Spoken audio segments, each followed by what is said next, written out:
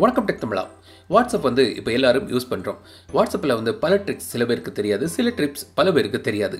So பல பேருக்கும் சில பேருக்கும் தெரிந்தும் தெரியாத சில ட்ரிக்ஸை பற்றி நம்ம இன்னைக்கு இந்த பதிவில் பார்க்கலாம். இது வரைக்கும் நீங்கள் டெக் தமிழா சேனல் சப்ஸ்கிரைப் பண்ணலைன்னா மறக்காமல் இந்த சப்ஸ்கிரைப் பட்டனை அழுத்துங்க.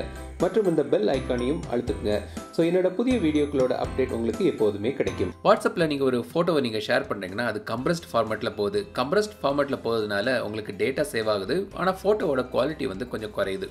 ஒரு முழுமையான அப்படியே நீங்கள் ஒரு ஃபோட்டோவோட குவாலிட்டியை நீங்கள் அப்படியே இன்னொருத்தருக்கு ட்ரான்ஸ்ஃபர் பண்ணால் நீங்கள் கேலரியிலேருந்து நீங்கள் ஷேர் பண்ணும்போது முடியாது.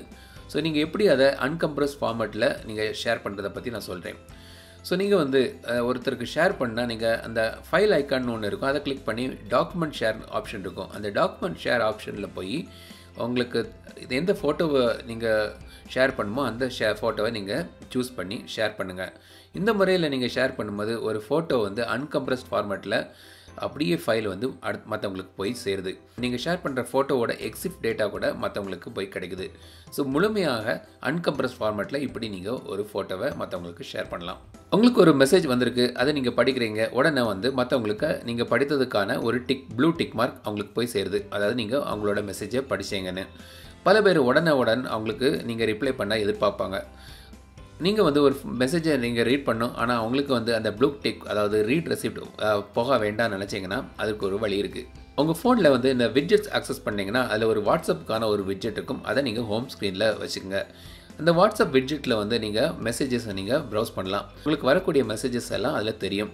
அதன் மூலமாக நீங்கள் அந்த மெசேஜஸை நீங்கள் செக் பண்ணும்போது மற்றவங்களுக்கு அந்த ரீட் ரிசிப்ட் அதாவது அந்த ப்ளூ டிக் போகாது.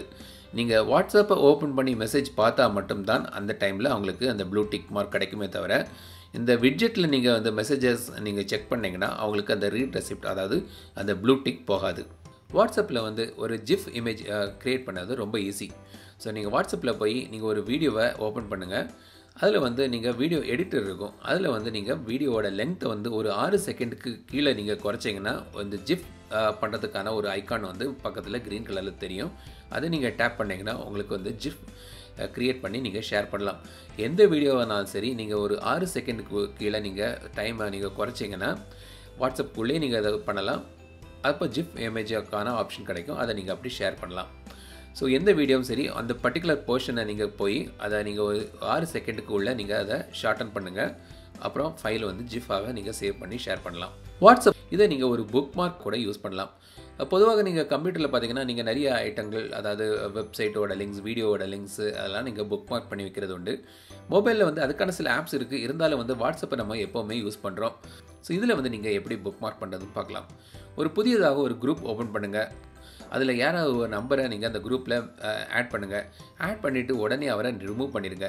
இப்போ அந்த குரூப்பில் நீங்கள் மட்டும் தான் இருப்பீங்க.